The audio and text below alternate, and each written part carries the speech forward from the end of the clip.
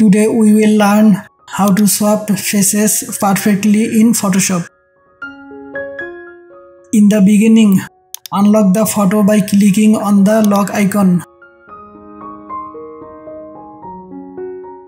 Click the lasso tool from the toolbar. Now select the eyes, nose, face from photo 1. Press the delete key from the keyboard. Then click on the embed location from the file menu. Select photo 2 here.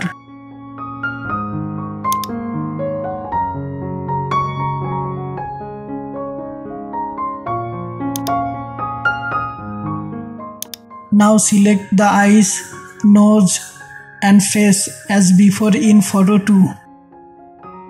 Separate the selected part from the keyboard by pressing Ctrl plus J.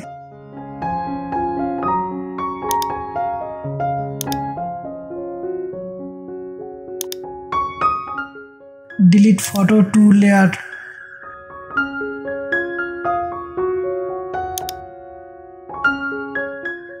Press Ctrl plus T for transform. Match photo 2 with photo 1.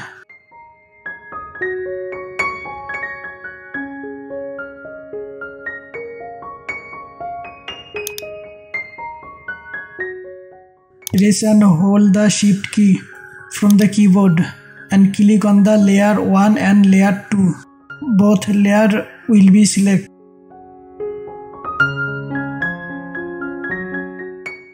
Now click on the edit menu and go to auto blend layer. From here, select the panorama and click the OK button.